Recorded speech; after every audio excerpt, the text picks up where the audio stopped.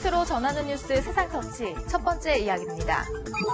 도로 한가운데 생긴 커다란 구멍. 사흘 전 지하철 8호선 별내선 공사 현장에서 생긴 겁니다. 그제 경남에서는 지름 3m짜리 대형 싱크홀이 이렇게 생겼고요. 부산에서는 차 앞바퀴가 끼는 사고도 났습니다. 싱크홀은요, 계속된 비로 아스팔트 밑에 지반이 약해지면서 생기는데요. 그제 서울 송파구에서는 학교 주변 횡단보도가 무너져 내려서 자칫 안전사고로 이어질 뻔했습니다. 사고 딱 나기 바로 전에 제가 아이 태우고 이렇게 지나갔었거든요. 그러고서 다시 이렇게 왔더니 뭐 싱크홀이 생겨 있어서 굉장히 놀랐어요. 구멍이 뚫리는 싱크홀뿐 아니라 움푹 패이는 포트홀도 문제입니다. 집중호우가 시작된 이번 달 1일부터 어제까지 서울 시내에 발생한 포트홀은 모두 7,680건. 지난 10년 동안 이 8월 한 달 평균 발생 건수가 4,800건인데요. 올해에는 열흘 만에 평균을 훌쩍 넘은 겁니다.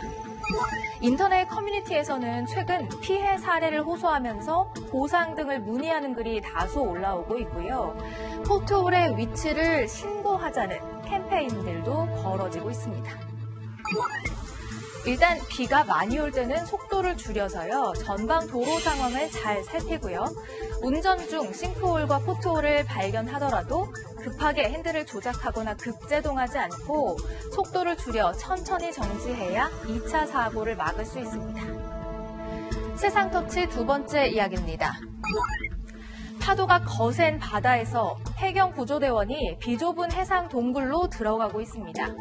지난 9일 태풍 예보에 호우 경보까지 내려진 경남 거제 앞바다에서 수영을 하던 동호회 회원들이 구조되는 모습입니다. 어제 새벽에는요, 성북천교 인근을 산책하던 남성이 급류에 휩쓸려서 청계천 중앙수초에 고립됐다가 구조됐습니다. 일부 시민들이 폭우로 통제된 곳에서 산책이나 수영을 즐기다가 구조 요청을 하는 사례가 잇따라 발생하고 있습니다. 재해 예보로 인해서 이 수영 등의 활동이 금지된 경우에 이를 어기면 관련법에 따라 1년 이하의 징역 또는 1천만 원 이하의 벌금형에 처할 수는 있지만 마땅한 처벌 근거가 없는 경우도 있습니다.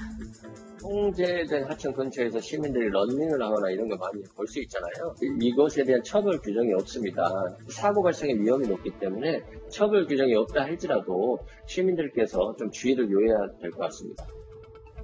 구조대원들의 출동으로 행정력이 낭비되는 것도 문제지만 잠깐의 즐거움을 위해 위험한 시도를 했다가는 생명까지 위협받을 수 있다는 점 꼭 기억해 주시기 바랍니다.